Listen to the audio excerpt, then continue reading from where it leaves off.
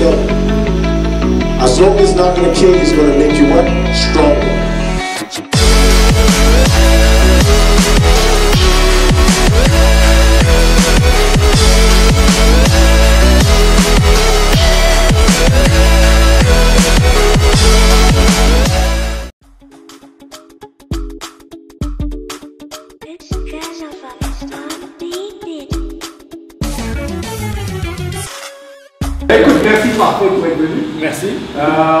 Que je veux faire aujourd'hui, c'est juste euh, une conversation à propos du, euh, euh, du solaire et surtout parler de l'environnement, pas seulement du Rwanda, mais euh, l'environnement du solaire en Afrique, le futur, les problèmes et tout ça. Mais avant de commencer, je veux que tu me dises, que tu me parles un peu euh, de ton background, Yeah. là où tu as étudié, quand est-ce que tu es revenu en- au Rwanda et un peu de ta compagnie. Ouais. Alors, euh, enfin, je suis, j'ai commencé à l'étau, ce qu'on appelait les étaux, c'est maintenant IPRSIS, mais en dessous, à l'école secondaire, je faisais l'électromécanique. Ah, ok. Et après, j'ai travaillé un peu au Rwanda. Ok. J'ai obtenu une euh, bourse, euh, pas d'État mais, mais privée, pour aller étudier à- en France dans le domaine des énergies renouvelables. Ok. Et quand je suis parti, j'ai fait mes études, donc ça correspondait, c'était euh, des formations accélérées. Et c'était dans le domaine de la. euh, le titre c'était Maîtrise de l'énergie, énergie renouvelable, éco-construction. On a fait ça et euh, après j'ai tout de suite eu du travail parce que c'était en plein boom de solaire. Et quand on terminait les stages, souvent on était pris par les entreprises.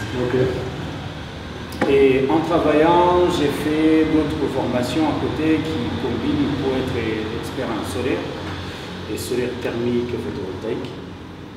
Et euh, après quelques années, j'ai fait aussi un complément en- qui est équivalent à un master hein, en, en performance énergétique des bâtiments et solaire actif. Donc quand je parle de mon titre, Ouais, ça ouais. fait gros, mais... Donc t'as enchaîné parle. euh, l'université, le master, Ouais, ouais, tout ça. ouais. Tout ça Ça t'a pris combien de temps Ah oui, bah, ça m'a pas pris beaucoup de temps, c'est ça qui est bien avec euh, les, les formations euh, comment dire, en, Europe. En Europe, ok. Ça m'a pris, euh, enfin, c'était depuis 2006 et 2011, c'est là où j'ai terminé. Mais entre-temps, je travaillais en fait. Je faisais une sorte de- d'alternance et je formais en même temps, donc j'avais tout, euh, je cumulais l'expérience travail et l'expérience, euh, enfin, les, les cours aussi, je les prenais en fait. Ah, donc tu travaillais et tu étudiais en même temps. C'est En même temps, c'était très très bien. Ah. Ouais, ouais. Et tu as terminé en 2011, tu dis? 2011, c'est là où j'ai obtenu la, la, la, la- la formation là, qui, terminait en performance. En fait, c'est euh, forma- fait, expert en performance énergétique de bâtiment, expert photovoltaïque et performance énergétique de bâtiment et solaire actif. Et donc, c'est là où j'ai. Bien. Et c'est le futur en plus. Hein. Ah ouais, carrément, futur, carrément, euh, carrément. Mais euh, bien sûr, moi et toi, on a eu plein de conversations euh, sur euh, le, le solaire en Afrique, les compagnies qui dominent, euh, quels sont ces problèmes. Et parfois, moi, je partage, mais bon, moi, je suis pas ingénieur. Ouais, Et t'es très bien. J'ai suivi de tes vidéos, je des fois. Merci beaucoup, merci. Mais je voulais t'amener, je voulais amener quelqu'un qui a l'expertise, qui comprend le domaine beaucoup plus en détail, euh, qui donne aussi sa vision. Euh, et je vais d'abord te demander, qu'est-ce que tu vois sur l'économie Maintenant, tu es revenu en quelle année? Euh, 2014. 2014, donc ça fait déjà 4 ans, Mhm. 4 ans euh, tu, es, Ouais, tu es- carrément. tu es déjà ici. Donc tu, as, tu connais maintenant, tu as vu l'écosystème euh, du solaire euh, en Afrique. Quels sont les problèmes que tu vois, surtout avec ces compagnies de, on appelle le rond sur le système Mhm. Quels sont les problèmes? Quels sont les avantages? Parce que j'ai pas envie juste de leur dire qu'ils sont pas bons ou ils sont mauvais. Quels sont les problèmes, les avantages? Qu'est-ce que tu penses? Comment ils peuvent améliorer leur structure? Euh, Parce que c'est très bien qu'ils ne gagnent pas d'argent Ouais. et ils lèvent beaucoup d'argent. Ouais. Et comment tu vois le jeune Africain qui veut rentrer dans ce domaine? Quelle est ta vision de comment ils peuvent rentrer dans ce domaine?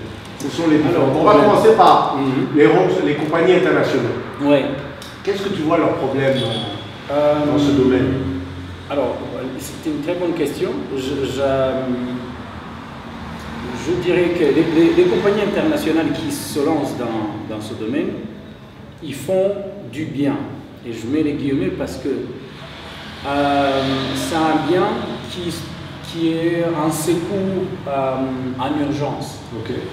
Ça n'a jamais été une solution énergétique pour moi et pour plein d'autres qui vont en parler techniquement parlant. Les, les solar home systems, nous on les appelle les kits nomades Ah, en français. Parce que c'est inventé exprès pour ça. Ça n'a jamais été inventé pour une solution énergétique.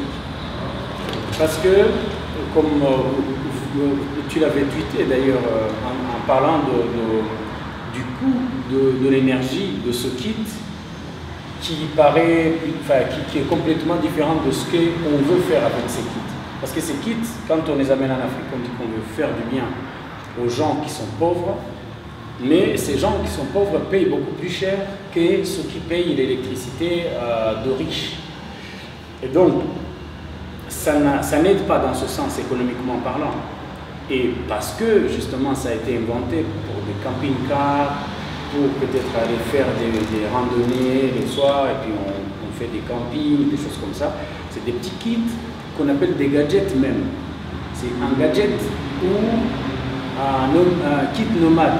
Même si tu, tu veux taper pour trouver des kits comme ça, Oui. en français, tu dois taper kit nomade. Si tu tapes kit solaire, tu vas avoir des kits de 3 kW, 5, 10 Ah, à plus.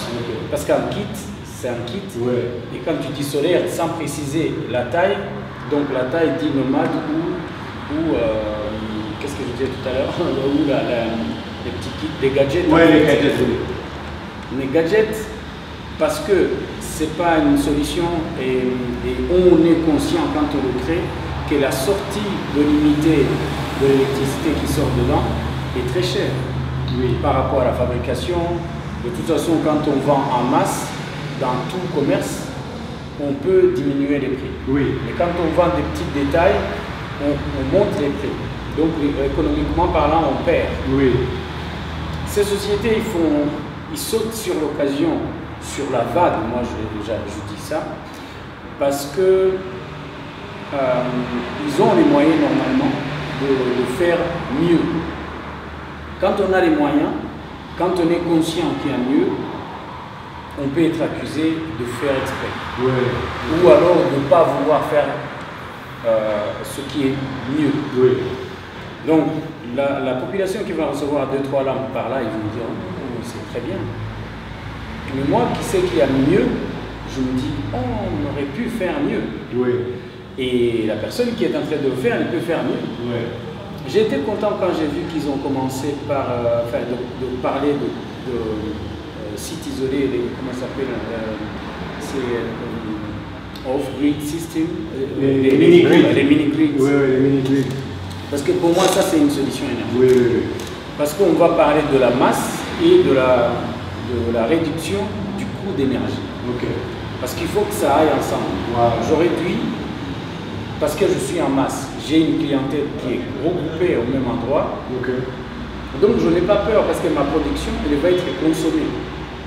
Mais là, quand on prend un, petit kit comme ça, j'y vais fort, mais je ne vais pas dire que c'est. Il y a- beaucoup de bien, mais ça c'est le mal que je suis en train de décrire de ce, petit kit. Je responsabilise une personne qui n'est pas capable de réaliser ce qui est sur sa tête. Donc je lui donne le secteur qui crée l'énergie. Donc je fais en lui un reg ou un Wassa de l'époque. Parce qu'il doit gérer la, la- la source, il doit s'occuper de la, euh, comment s'appelle, de la, de la transmission, même si ça se fait entre les deux lampes, fait des fils comme Oui, ça. oui, oui. Et puis la consommation, il va la gérer. Avec le, le mini-grid ou avec non, non, le- les petits kits. Avec les kits. Les home- solar home system. Parce que là, je, je- je lui donne tout pour qu'elle les gère, Ok. la, la cliente, Ok. la personne qui est client en fait. Oui. Va me payer et je laisse le bébé, il va gérer le reste. Ok. Production, consommation, économie. C'est lui qui gère. Alors que, parce que c'est c'est pas, c'est c'est quelque chose qui vient d'arriver aussi en quelque sorte. Si cette, cette personne a eu d'habitude de voir une prise, je branche, Oui, une fer à repasser, une tondeuse, une lampe et tout va dans la prise et ça s'allume. C'est exactement la même chose qu'il va faire quand tu lui donnes un truc qui s'appelle énergie électrique. Il va brancher ce qu'il veut. Euh, Les compagnies qui ont commencé ici ont eu ce même problème, comme partout en Afrique. Parce qu'ils étaient censés euh, mais le temps d'apprendre aux gens ce qu'ils vont avoir n'était pas mis en avant. Et donc les gens ils branchaient tout ce qu'ils voulaient. Et ces sociétés aussi se mettaient en, en défense en disant vous branchez tout ce que vous voulez. Et donc ceux qui sont malhonnêtes en ont profité pour dire, pour vendre des, des produits qui ne sont pas bons. Et en disant euh, peut-être que tu as branché quelque chose qui n'est pas bon, alors que c'est pas vrai. Ouais, ouais. Moi, moi, j'ai fait quelques consultances avec des sociétés internationales comme Oui. ça ici. Euh, avant, enfin 2000, 2010, 2011, je venais en vacances, je faisais quelques consultances. Ces sociétés, ils disaient il faut regarder parce que ces gens, on- on n'arrive pas à, à trouver de l'intérêt. Parce que au bout de 3-4 mois, le kit est déjà foutu. Ah, Et pourquoi? Parce qu'ils branchent beaucoup plus de choses, mais aussi parce que les kits n'étaient pas bien, n'étaient pas encore, encore euh, au standard, point en fait. Les standards existaient déjà, mais les gens qui veulent vendre à la masse, ils vont chercher le dernier de modèle, le, le moins coûtant, Ah, pour le vendre au même prix et puis Ah. espérer de gagner de l'argent. Je vois. Donc voilà, en, en gros, sans retarder, euh, comment dire, sans m'étaler trop sur Ouais, la ouais. question,